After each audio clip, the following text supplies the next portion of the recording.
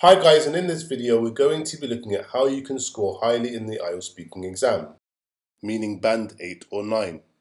And this is really important because many people take this exam every year whether it's for university admissions or migration purposes. Now there are three parts to the exam. The examiner will start by introducing themselves, asking to see your ID and some general questions about your family, home, work and studies. This is just to settle you in and make small talk. And this takes about four minutes. And then you'll be given a specific topic. You will have one minute to prepare on the question. Now don't waste this time. It's very important that you use it to organize your thoughts. Make a mind map or write down everything that you know about the subject. Okay, now once you're prepared, you'll need to speak for two minutes and the examiner will ask you some questions based on what you say. Then for the last four to five minutes, the examiner will ask further questions about the topic on your card. This is your time to show off what you really know and really show them the English skills that you have. Okay, so tip number one, guys, do not cram. You shouldn't stay up all night trying to memorize your answers to the exams. It's not about the knowledge, guys, but it's more about your ideas. So it's not what you know, it's how you say it. And if you memorize, it will be extremely boring. But The most effective way to prepare your ideas is to practice as much as you can. Whenever you're free, just think of a simple topic and then speak to your friend or your family member about it. For instance, you can talk about an interesting book that you're currently reading.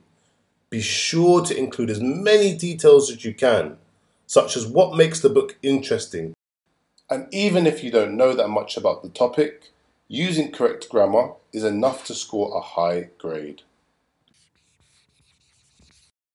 Okay, and don't let the pressure of the exam get to you and make you feel afraid.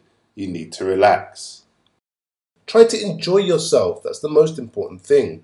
Be yourself. Try to speak about things that you like. Don't forget to smile and show emotion Show you're involved in the conversation. Make sure you have eye contact with the examiner and back straight and good posture.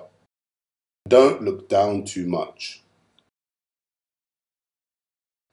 And don't forget this is a very important exam. You need to be formal. Treat it like a job interview. Stay on topic and answer the questions fully. Use full sentences and don't use slang as if you're talking to a friend. Additionally, guys, remember that when you're speaking, it has to be at a steady pace. Don't speak too quickly. You have to keep a steady pace throughout and make sure that you speak clearly, naturally, and slowly so that they can understand what you're talking about. Make sure you use descriptive words to express your ideas well. Now, this doesn't just mean adjectives. By using nouns, gerunds, and emotive language such as I adore, I hope, and I love all add to your speaking. Okay, so that's it. You're ready to go and do this. Be confident and remember, relax. And let us know your thoughts and experiences of the exam in the comment section below.